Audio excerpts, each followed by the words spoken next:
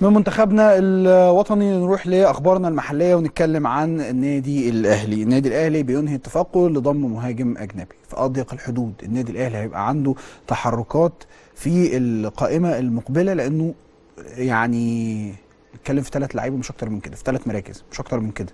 افتكروا الكلام اللي إحنا بنقوله. لو زادت قوي تبقى أربعة بس مش أكتر من كده. ده لو زادت قوي، النادي الأهلي طلباته محدودة وهم عارفين هم عايزين إيه وعايزين كام لعيب وعايزين في أي مركز من المراكز فما تفتكروش ان النادي الأهلي داخل على مجموعة صفقات كتيرة الفرقة أصلا واقفة على رجليها كويس قوي وفرقة النادي الاهلي والنادي الأهلي دلوقتي عنده فرقتين ما عندوش فرقة واحدة.